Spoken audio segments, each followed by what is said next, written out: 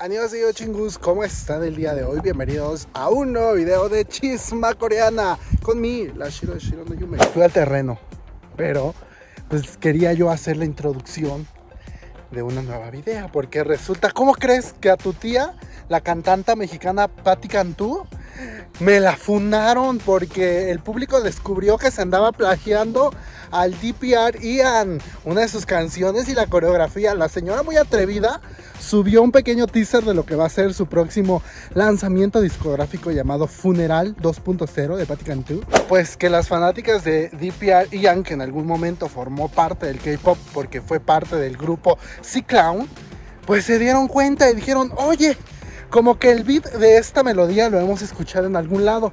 Y como que esta coreografía no es de un trend de TikTok, pues tu tía la Patti Cantú al parecer no sabía de quién era el trend. No hombre, quédate conmigo en esta video porque te voy a contar toda la chisma.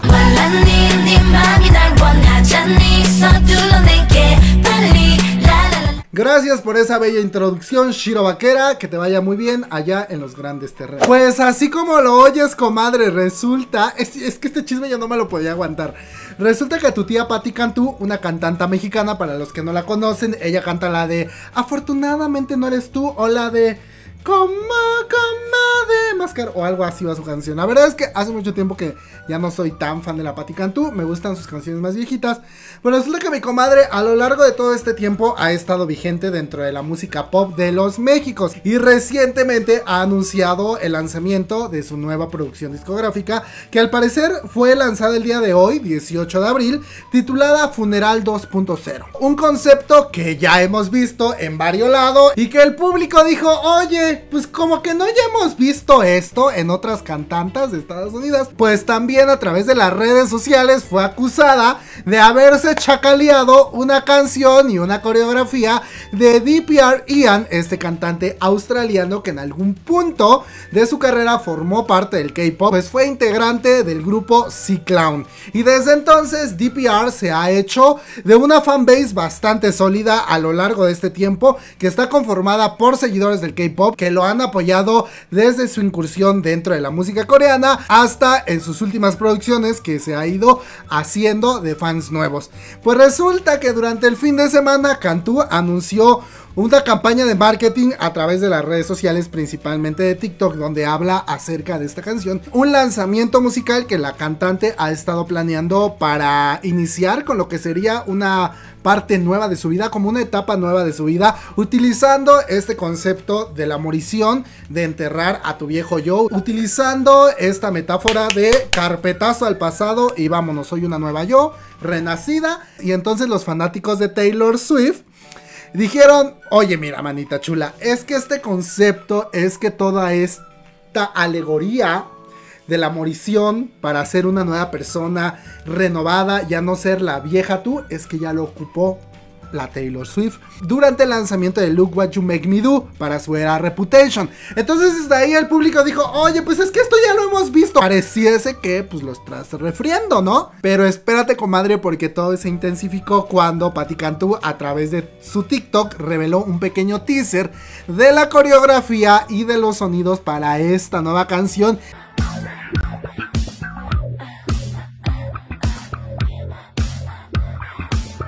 Y entonces, pues claro, mis comadres fanáticas de DPR dijeron, ay, a ver, no señora, no. Esto suena muy similar a una canción de DPR y además la coreografía es muy similar a la coreografía de un trend de una tendencia que se puso muy de moda y se hizo viral hace un par de meses a través de TikTok. Pues resulta que este tren no salió de la nada, no nació por sí solito. El tren está basado en la coreografía y en la canción de Don't Go Insane de DPR. Evidentemente los comentarios, cuestionamientos y señalamientos se hicieron presente dentro de este video de la Cantú, que rápidamente mi comadre salió por ahí a dar contestación a uno de estos comentarios y te voy a leer específicamente lo que dijo la señora Cantú. Dijo, tranquilos, no es el mismo bajo, no es la misma canción. Lo del Belch Challenge, que es así como se nombró este challenge durante hace un par de meses,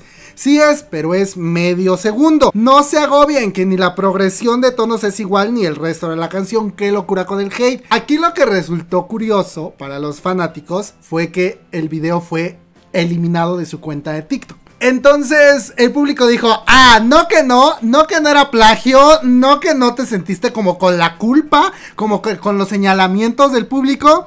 Y entonces alguien a través de TikTok le fue a decir, y el video que se parece a Don't Go Insan de DPR lo borró y entonces tu tía la cantú volvió a comentar. Tu tía no se quedó callada, ella sacó lo que llevaba en los adentros y dijo, tranqui, lo voy a volver a subir con el crédito porque la parte final de esa coreo, por supuesto, está basada en él porque soy su fan y lo amo, dice tu tía. Pero espérate porque el público dijo, ay, no te creo, no te estamos creyendo y esto se ve que nada más lo hiciste como para quedar bien con nosotras y para que no se te siguiera cuestionando. Siguió en su comentario diciendo, yo no subí el posteo y prefiero hacerlo yo misma mañana. Bien, ya verán el resto y se darán cuenta que es verdad que lo demás no tiene nada que ver. Los fanáticos de DPR sí dijeron como, mm, no sé Rick, me está pareciendo falso todo esto.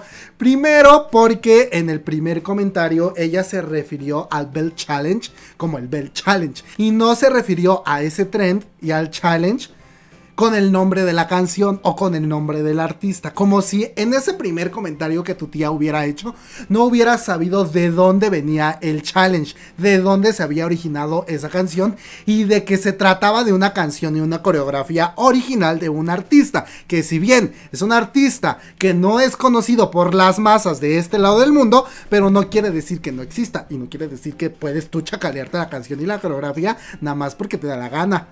Ahora, está bien que hubiera hecho la coreografía siempre y cuando le hubiera puesto ahí que era parte del tren. Y eso es justamente por lo cual los fanáticos de DPR están diciendo como de que pues no te creemos porque si hubiera sabido que la melodía de esta canción que se parece mucho a la melodía de tu canción que vas a lanzar y la coreografía están basados en la canción de Don't Go Insane de DPR, pues lo hubieras puesto en los créditos de tu video y lo hubieras manejado como un cover o lo hubieras manejado como haciendo el trend de la canción, utilizando el audio original del trend, el audio original de la canción, que es la canción de DPR, y no hubieras puesto tú tu canción. Ya ven que en TikTok la gente tiene complejo de investigadores y entonces empezaron a unir todas esas cositas que no cuadraban del todo y cayeron en la conclusión, según ellos, de que tu tía Patti Cantú, aunque en su segundo comentario, después de haber eliminado el video, dijo que es muy fanática de Christian, porque así se llama tu tía DPR, ese es el nombre original de DPR, Christian Yo, Christian Yu, me parece, algo así.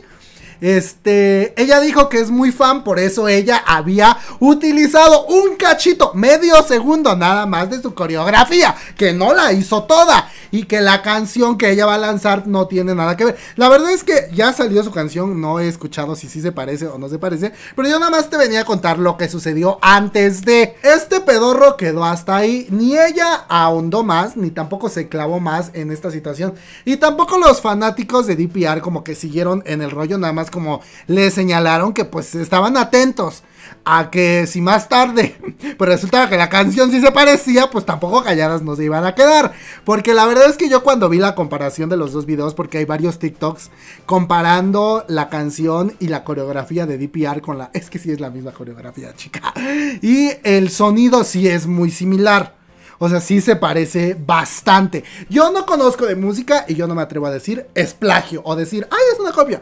Porque mira, dentro del mundo de la música se hacen uso de muchas artimañas para después terminar diciendo que no es plagio. Que si el bajo, que si la percusión, que si la melodía, que si la nota, que si el sol, que si la... Ay, no. Una... Y fue lo que dijo tu tía Patti Cantó en su comentario, que ni la progresión, ni la melodía, ni los bajos o algo así, no era lo mismo. Por lo tanto, pues no es la misma melodía. ¿Tú le crees a Patti Cantú? ¿Ya escuchaste la nueva canción? ¿O te da igual? Tampoco la vas a ir a escuchar. Pues bueno, besos a mi comadre. Ojalá que le vaya muy bien a su canción. Nada más, pues ya no te andes fusilando el concepto de otros artistas. Porque ahí están los, los Swifty. Ya te dijeron. Y es que sí, porque el concepto sí es muy Taylor Swift. Saben que Taylor Swift en Look What You Make Me Do sí hace uso de ese concepto de ser una nueva ella, entierra a su yo del pasado para crear a una nueva a una nueva Taylor Swift y por eso es que su era se llama Reputation. Porque pues Sí, no, por eso, porque ya es una nueva reputación la que tiene. Va a enterrar a su vieja reputación. ¿O no? Yo la verdad es que no, no he visto su video de la Patti Cantú. Te digo, hace mucho tiempo que ya no sigo tanto la música de la Patti. Creo que la última canción de Patti Cantú que me gustó fue Suerte, donde ella sale con unas orejitas de gato. Uy, pero de eso hace como 10 años, creo. No, ya, es que no me han gustado sus últimas canciones. Sacó una que es como la contraparte de Prefiero ser su amante, una canción que ella escribió para La Josa, que esa canción me encanta, la verdad.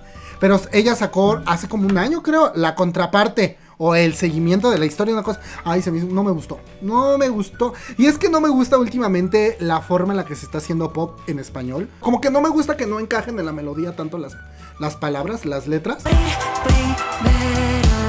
Y siento que Patti Cantú es un poquito de esas que luego sus letras no encajan del todo en la melodía y como que mi cerebro, mi talk no me deja, como que hace algo. Por ejemplo, a mí la música pop que me gusta mucho es la que hace la Gloria Trevi. Uy, esa señora sí, mira.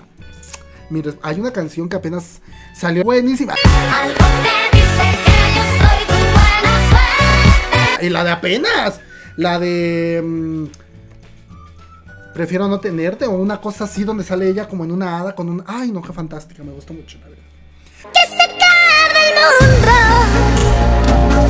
Pero pues bueno, hasta aquí el video del día de hoy. Espero que te haya gustado. No olvides suscribirte. Acá abajo en los comentarios tú dime si eres fanática de DPR Ian. Si ya lo seguías desde que formaba parte de C-Clown. Ah, si hacemos un video de recordando la carrera de C-Clown, sería muy buen video. ¿eh? Pues bueno, recuerden que yo soy Shiro, esta fue Chisme Coreana y nos vemos hasta el próximo video. Bye bye.